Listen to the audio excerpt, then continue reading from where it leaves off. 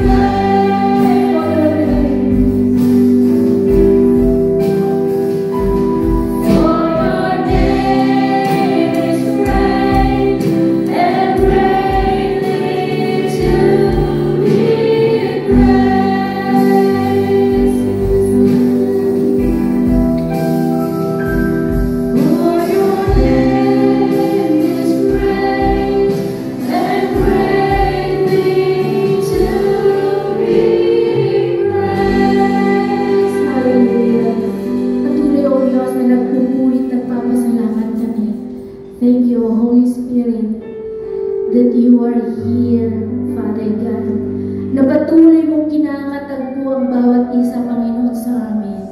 Nawa, O Diyos, sa oras na ito, sa aming pag-aawitan, Panginoon, ay nabuksan namin, O Diyos, ang iyong pangtinig.